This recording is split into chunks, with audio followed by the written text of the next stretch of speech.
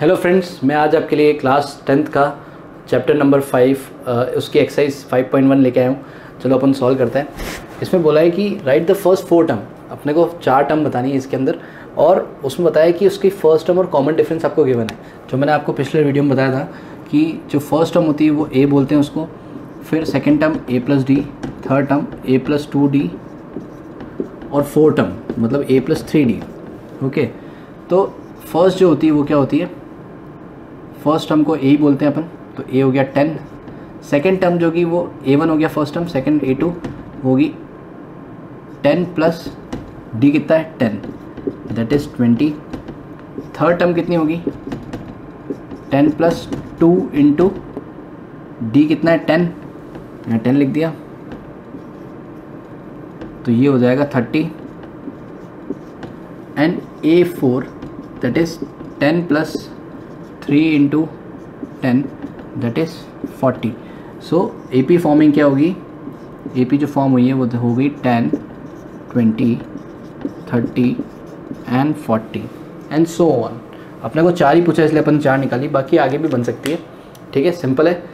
दोस्तों सेकेंड वाले में क्या करना है? सेकेंड वाले में वापस सेम प्रोसेस है। ए पी वही रहेगी, चार टर्म निकालनी है। तो ए वन होगा अपना माइनस टू ठीक है? ए टू क्या होगा? A two equals to minus two plus zero क्योंकि डी ज़ीरो है है ना? तो ये वापस minus two A three minus two plus two into zero anything multiply by zero is always zero तो इसका आंसर भी माइनस टू आ गया। और ए फोर भी ज़ीरो ही आएगा। तो आपको पता ही है three into zero anything multiply by zero zero minus two तो ए पी जो फॉर्म हो रही है, वो क्या हो रही है? Minus two minus two minus two and minus two this is also A P क्योंकि कॉमन डिफरेंस सबका सेम है ज़ीरो ठीक है? सेकेंड का थर्ड पार्ट करते हैं. फ़र्स्ट वाला दे रखा है. ए वन दे रखा है अपने को. ए वन की वैल्यू क्या है? फोर ए टू क्या है? ए प्लस डी तो ए प्लस डी में क्या होता है? फोर प्लस और माइनस यहाँ पर है तो minus three into one A plus one D okay तो इसका आंसर क्या आएगा? Four minus three that is one simple है. Second A three. A three में क्या होगा? फोर प्लस, क्योंकि फ़र्स्ट हम फोर इसलिए लेना है क्योंकि ए फोर है। और डी की जगह डी की जगह क्या अपनी वैल्यू आ रही है? माइनस थ्री तो डेट इज़ इक्वल्स टू ये कितना हो जाएगा? Minus six four minus six is minus two और A four that is four plus three into minus three that is four minus nine that is minus five okay तो अपनी A P क्या हो गई? ए पी अपनी हो गई है four one minus two and minus five बन गई A P and so on चलती रहेगी। अपने को चार ही पूछिए। फिफ्थ वाला पार्ट करते हैं क्वेश्चन नंबर सेकंड का। फ़र्स्ट अपने को टर्म दे रखी है। Minus one point two five second term जो होगी that is minus one point two five मतलब कि अपन इसको लिख सकते हैं A plus one D that is minus one point two five plus one into D कितना है? Minus zero point two five जब आप इसको प्लस करोगे तो ये हो जाएगा minus one point two five minus zero point five zero point two five तो ये हो जाएगा minus one point five zero जब इसको ऐड करोगे तो वन पॉइंट फाइव ज़ीरो वो भी माइनस में। ए थ्री देख लेते हैं। ए थ्री क्या होगा? ए प्लस टू डी तो दैट इज़ ए कितना है? Minus one point two five plus two into d कितना है?